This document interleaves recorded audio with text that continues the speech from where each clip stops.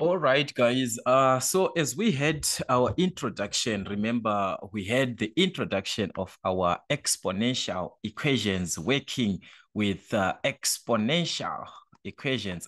Uh, this is one of the most important uh, topics. These are like, it's a combination of two things. You've got exponents and also equations, meaning to say we are supposed to know the basics of our equations and also the basics of our exponents. All right. So like I said, this is just a follow-up exercise. Uh, so for X on these questions, we have got uh, one or two questions that we are going to consider. Uh, let us see question number one, whereby we're given uh, 3 to the exponent of x minus uh, 3 to the exponent of x minus 2 is equivalent or is equal to 24. Okay, remember what I said on the introduction, if you're given uh, something of this nature, that there is 3 to the exponent of x, and we also have another 3 to the exponent of x like this. But it, what we have here, it's combined. It's a combination of two terms. So I said you can separate this as 3 to the exponent of x minus 3 to the exponent of x times 3 to the exponent of minus 2. Right, or we can write as 3 to the exponent of x over if we are subtracting. Remember, we were dividing, meaning to say we're dividing by what? 3 to the exponent of 2. That is what we know there. Or we can just have it as a multiplication like this. This is equal to what? To 24. Why are we doing this? So that we can properly see, by doing this, you can properly see that these two terms are the same. All right, this one, I want to indicate this. 3 to the exponent of x and also 3 to the exponent of x. These are the ones that we wanted to properly separate and see them. And now we can see these terms. And there's just like we're multiplying by 1. So we can factor out this here because these are two. This one is a term. This one is also a term. So you can factor out the 3 to the exponent of x, which is common. What do you remain with here? Well, a 1. What about here? 3 to the exponent of minus 2 with a what? A negative. So that's 1 minus 3 to the exponent of what? Of minus 2 like this, which is equal to what? To a 24. So guys, on this part, we can even simplify on your calculator. This is a product. So just know the term, the number that you're obtaining here. What is the number that you're going to obtain? All right, so this is you and your calculator. I'm just going to show the part of the screen, the calculator here. Uh, that is, you're going to have 1 minus uh, 3 to the exponent of minus 2. So this is 3 to the exponent of a minus 2 like this. And this is going to give us 8 over 9. So you're going to multiply to 8 over 9 in this case, which is equal to what? To a 24. Take note, we still have this. So here we are multiplying. So how do you remove this? We divide by 8 over 9 both sides. So you're going to divide by 8 over uh, 9 both sides. All right, so this is 8 over 9 like this. Uh, that means by dividing, we are having, or this will cancel, and we are remaining with 3 to the exponent of what? Of x. So 3 to the exponent of x is going to be what? We divide these two. So that is what you're going to have here. Uh, 24 divided to the answer that we had. Uh, that is going to be a 27. All right, so we have remember the purpose, like I said from our introduction, all this the purpose is to have a single term and a single term. Why? So that we can have them in the same base. Can we write 27 and 3 in the same base? 3, it's a prime number and it's in simplest form. So there's no way we're going to have this. We're just going to rewrite as it is. It's already in simplest form.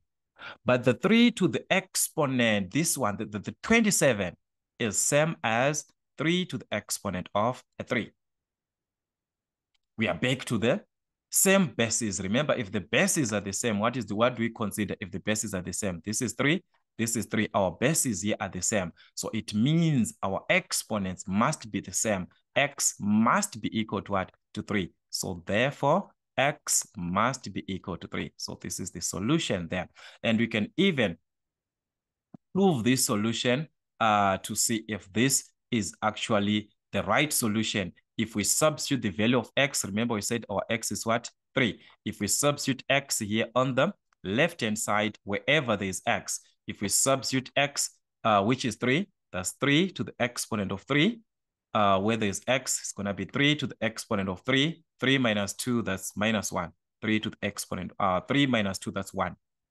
3 to the exponent of 3, remember that is uh, 27 minus 3, which is 24, which is exactly what we have here. So our x is truly uh, a 3.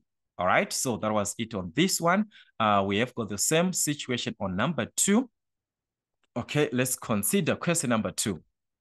3 to the exponent of x plus 1 is equal to 3 to the exponent of x plus 2 over 3.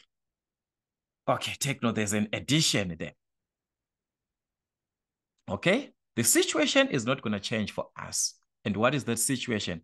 There we are adding, where there is a 3 to the exponent of x there. But there there's an addition, we separate. How? 3 to the exponent of x times 3 to the exponent of y is equal to 3 to the exponent of x plus 2 over 3. So as we can see that we, we, we have this, the, the, the 3 to the exponent of x is there. We have it, we have it here.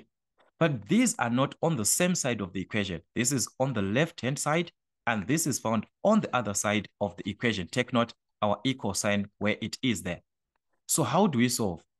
We have to collect these terms with 3 to the exponent of x to one side of the equation. So you're going to transpose this to the other side. So that means the on the on the left hand side, we are remaining with this part as it is. 3 to the exponent of x times 3 to the exponent of 1, which is same as what? Which is same as 3. All right, this is just same as 3. Minus, we have taken this, it was a plus. So the moment it crosses the equal sign, it, it carries a negative, right? It becomes a negative. This is just a single term, it's just a constant. So leave it like that, is equal to 2 over 3. Just leave it like that we are now back to the same situation, just like the previous case. What is the condition or what is the situation where we can properly see that the 3 to the exponent of x and the 3 to the exponent of x are the same and they are on the same side of the equation. Take note the equal sign where it is there. They are on the same side of the equation. So we can do our factorization. By factorizing 3 to the exponent of x, we remain with what here? We remain with a 1 if we divide 3 to the exponent of x and 3 to the exponent of x, here, uh, so here we're going to remain with a 3. All right, sorry, this here, guys, is a 3. So that's a 3 minus here. If we divide this term and this term, we get a 1. All right, it's like there is a 1, there's like a 1. So there's a 1 already. So if we remove this, we remain with, we remain with a 1. So this is equal to 2 over 2 over 3. Now we can simplify just like the previous case, all right? We're to simplify 3 to the exponent of x times 3 minus 2. Uh, 3 minus 1 in this case, which is to give us what? That is a 2. And this is equal to 2 over 3. We have subtracted this, all right? Which is a 2. So going to divide, since we are multiplying, this 2 is not affecting, it is, it, is not carrying x. It, it, it does not have the x. The x is on 3. This is not affected. So we're going to divide by this. We divide by this. We remain with what? 3 to the exponent of x. So 3 to the exponent of x is equal to, we divide. Remember, this was our numerator previously, this 2 over 3. So that is a single term, a single number that we have. That is going to be divided to these two. So you can even use your calculator there. Uh, just open a bracket uh, to indicate uh, this simplification, just gonna open a bracket there. All right, let me show you what I'm trying to say. Uh, so this is it here. Gonna have uh, our bracket for two over three. That's two over a three. All right, let's just save a bracket first. Open a bracket. Uh, two over three like this. Uh, you're gonna close the bracket. Then we divide by these two. So it's over these two like this. So this is gonna give us one over one over three. So this is 1 over 1 over 3. All right, so this is what you're going to have. Uh, we obtained 1 over 3 on this side. So this is 1 over 3. So now we have a single term, and this is a single term. Truly, it's a single term. But can we write this a fraction as a number to the exponent of a certain 3 to the exponent of? Yes, it's possible. Remember, x to the exponent of minus 1 is the one that gave us 1 over x. So 1 over 3 was taken from where? A vice versa. It was taken from x to the exponent of minus 1. 3 to the exponent of what? Of minus 1. So this is 3 to the exponent of x, the inverse, remember, where it was taken from. 3 to the exponent of minus 1. All right? So the bases are the same. the bases are the same. So x must be equal to what? x must be equal to 3. So therefore, x is equal to, sorry, x must be equal to, to, to, to minus 1. So therefore, x in this case is equal to what? A negative 1. That is the condition. Like I said, you can even prove your question. You take your x on the left-hand side uh, and see if it's going to give you what is on the right-hand side. Remember, we said our x is what? Negative 1. So let us just prove it this way. If our x is negative 1, all right, if x is negative 1, if x is equal to minus 1. Let us work with the left-hand side, all right? So this is our left-hand side, this one. It is 3 to the exponent of what? Minus x is minus 1. So it's minus 1 plus a 1, which is a 0, which is gives us at a 1. All right, let's prove from the right-hand side. From the right-hand side, remember we said x is minus 1. So this is going to be a minus 1 here, all right? This is a minus 1 and 3 to the exponent of minus 1 plus 2 over 3. We can even do this on our calculator and uh, see what you're going to have. Uh, that is, uh, let me show you the part of the screen again. 3 to the exponent of minus 1. So this is it. Uh, 3 to the exponent of minus 1 like that, all right? Plus 2 over 3 plus uh, 2 over a 3 like this. All right, so what are we going to have? A 1 which is exactly what we got from the other side. We are getting what? A 1. So this is the true value of x. So I want you to do the proof in each and every question that we're going to do. Make sure that you prove and see if your questions are exactly the same. So I'm not going to answer all of these questions. No, I'm just going to pick one of two. Uh, number three, let's see, number three. Uh, 3 to the exponent of x plus 3 to the exponent of x plus 2 is equal to 10. All right, just like the previous case that we had, we're going to separate this part. So this is 3 to the exponent of x plus 3 to the exponent of x times 3 to the exponent of 2, which is equal to 10. The 3 to the exponent of x, the 3 to the exponent of x is common. Just like the previous case, we factor it out. So there is like, there is a 1. The number that is multiplying there, it's a 1. So it's 1 plus, we factor out this, we divide it to this, we remain with what? 3 to the exponent of 3 to the exponent of 2 is equal to a 10. So this is what we have here. We simplify 3 to the exponent of x times. From our calculator, we simplify this, or you can even see by side, 3 to the exponent of 2 is 9. 9 plus 1, it's a 10. So this is a 10 is equal to a 10. How do you simplify from there? I said at this stage, you are going to remove this by dividing because it is, it is not having x. So we divide by 10 3 to the exponent of x is going to be equal to what? It's going to be equal to 1. So at that stage, now you consider to say, can I write 1 as a number of 3, as, as, as a base of 3 to a certain exponent? Remember, any number when being raised to the exponent of 0, it gives us a 1. So 3 to the x, as we want to focus with 3, so this is the same. One can be taken to the base of three. It's very, very possible, but being raised to the exponent of what? Of a zero. Three to the exponent of zero is one.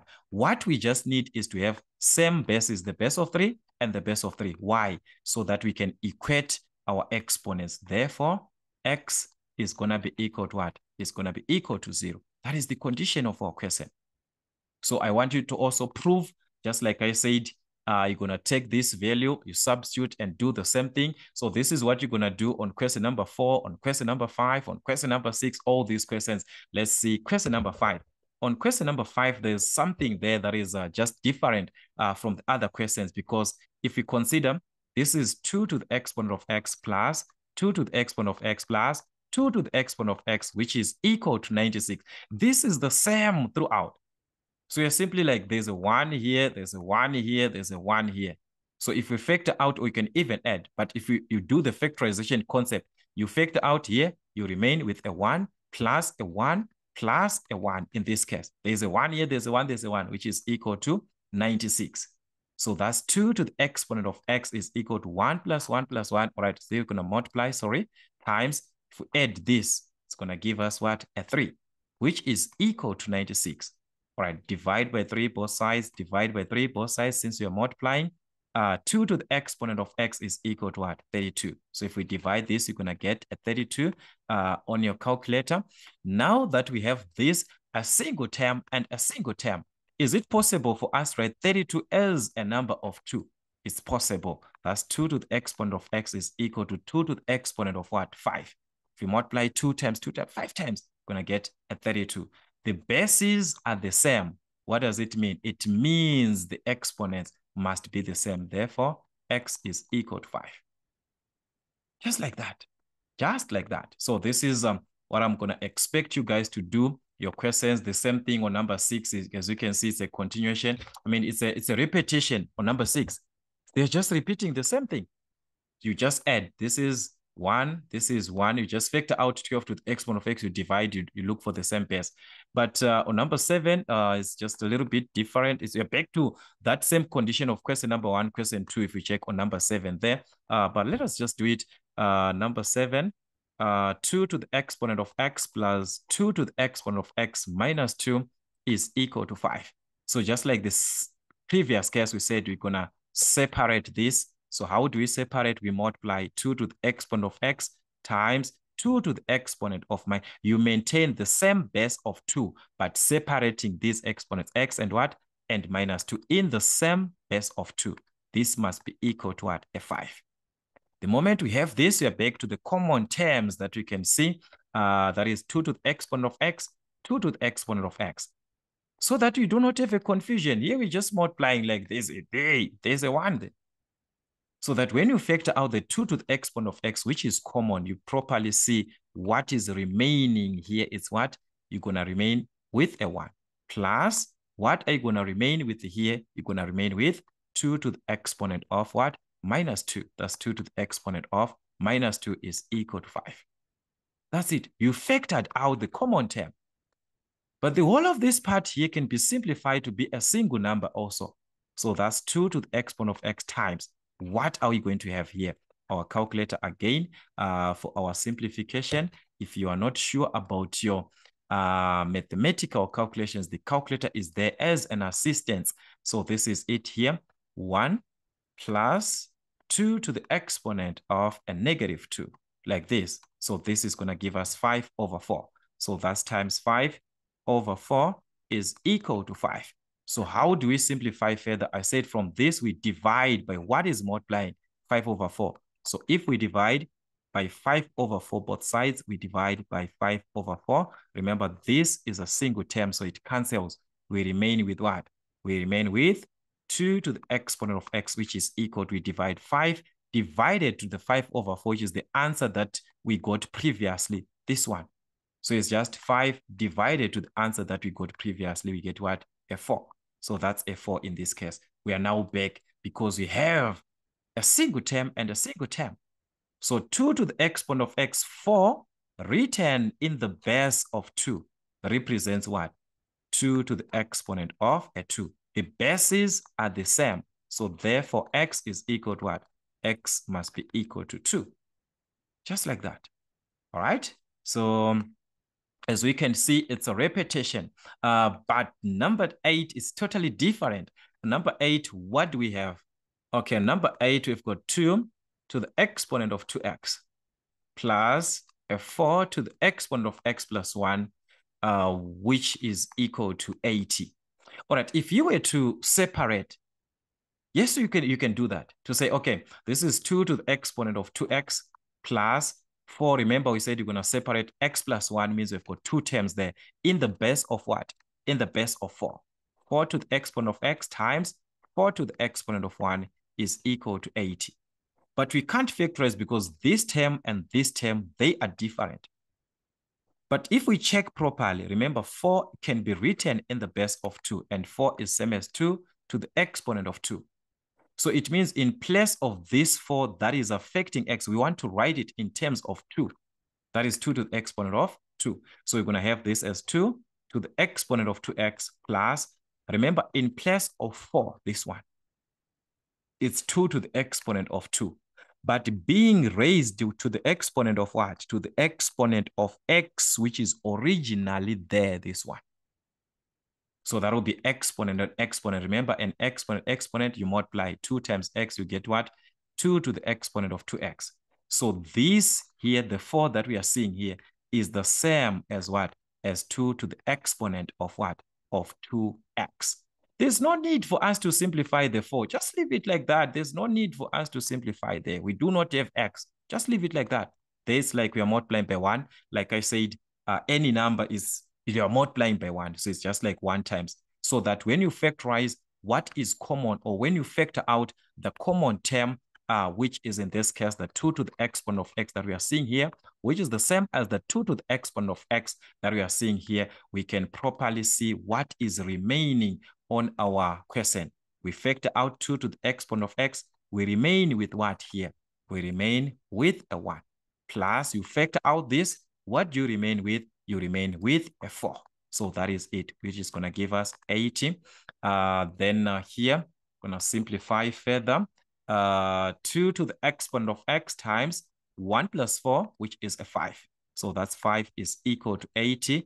If we divide by 5, because we are multiplying here, when I divide by 5 both sides, by 5 both sides, uh, that's 80 divided by 5, which is something like what? 16. Uh, that's 2 to the exponent of x is equal to 16. Divide properly on your calculator. That's going to give you a 16. We have a single term. We are back now. Single term and single term. Can, can 16 be written in the base of 2? Is it possible? If it's possible, write it in the base of 2. So it means 2 to the exponent of x is possible to have 16 in the base of 2. That's 2 to the exponent of a 4. So you're supposed to know your exponents. Before you talk about the exponential equations, revise your exponents. So the bases, if they are the same, it means the exponents are the same. So therefore, our x is going to be equal to what? To 4, just like that.